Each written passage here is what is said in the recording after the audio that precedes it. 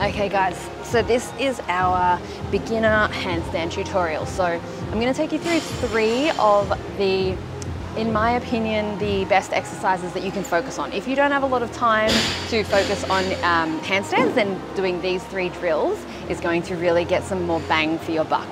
The first thing I wanted to talk about though is handstands in general. So sometimes Handstands can take a very, very long time to develop. Everyone learns a skill at different speeds, but just so you know, the more consistent that you can be, the better it will be for you in terms of achieving goals more quickly.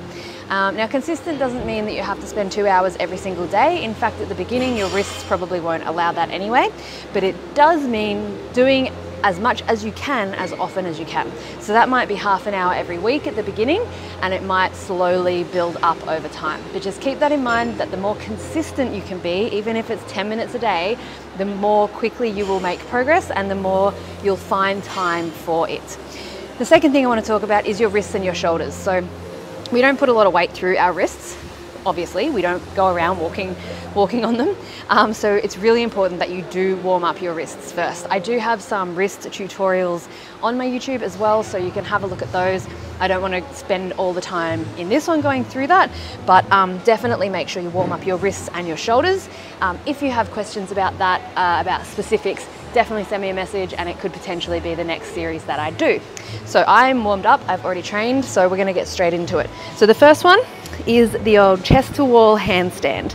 Now this one is um, something that you want to build up to around 60 seconds. So you can hold chest to wall nice and close in a good line for 60 seconds. Once you can achieve that, you know that you're developing some decent amount of strength. I'm going to take you through a few levels of it because often people get scared getting very close to the wall and that's fair enough. There's a few things we want to note. We don't want our hands too wide apart. You want to have them stacked as closely as you can over your shoulders, okay? So we don't want them too wide like this, so bringing them in a little. The second thing is that if you are terrified of getting very close to the wall, totally understandable. And what we're gonna do is practice bailing. So we're gonna practice actually bailing to the side. So I'll show you one of those first, and then I'm gonna show you the different stages if you are scared to get too close to the wall. So let's say I'm doing my nose to wall and I'm going to bail. So I'm going to come out of it because one thing you've got to learn is that handstands will always end. You're always going to come down. So you have to be confident and comfortable coming out of it. So I'm going to go into my nose to wall handstand now. So I'm all the way up. We'll talk about form in a minute. And when I'm ready to come down, for me, I bail to my left. So I'm going to turn my left hand out to the side and cartwheel down. So you can, of course, also walk your hands back out, but you'll need more energy to do that. So getting comfortable with that is a very important step. So if you're not, I suggest practicing bailing from your handstand. Okay, now let's talk nose to wall. So a couple of different levels. We can start here. That is totally, totally fine. The only thing I want to be aware of in this position, we don't want to be sagging our butt down like that. So coming up.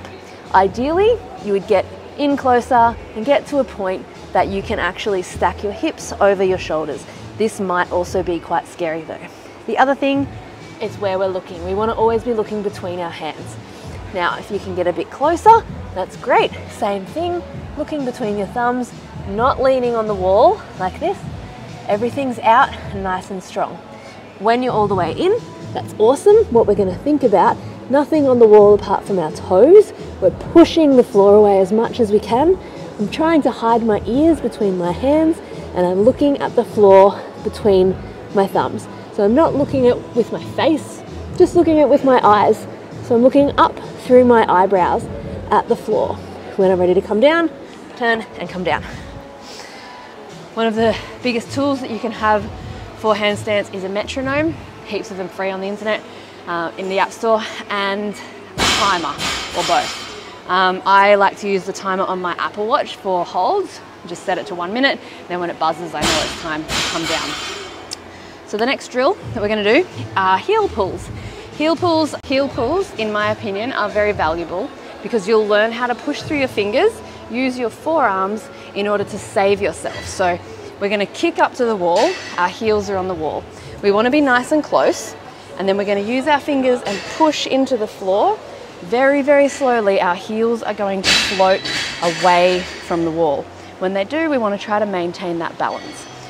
Trying to resist the bounce. I guarantee the first time you do it, you will probably bounce if you haven't done them before. So I'll show you what they look like. So we're going to kick up, hands nice and close to the wall. From here, I'm nice and tight.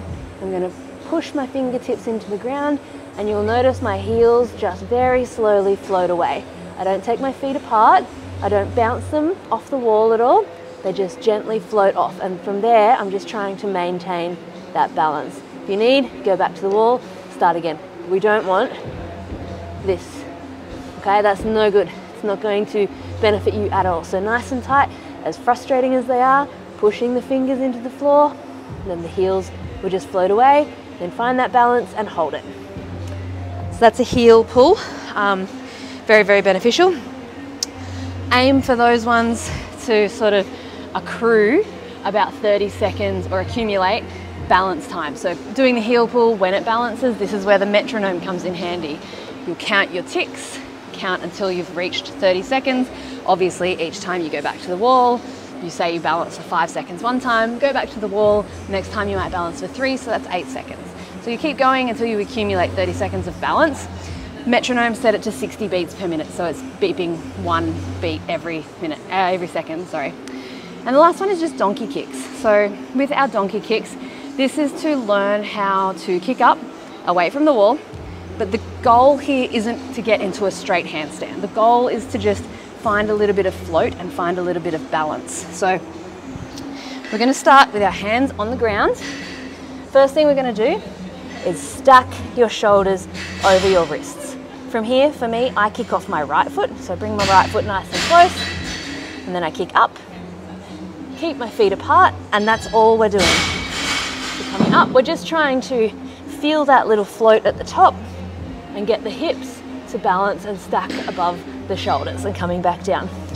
Notice I didn't put my feet together at the top.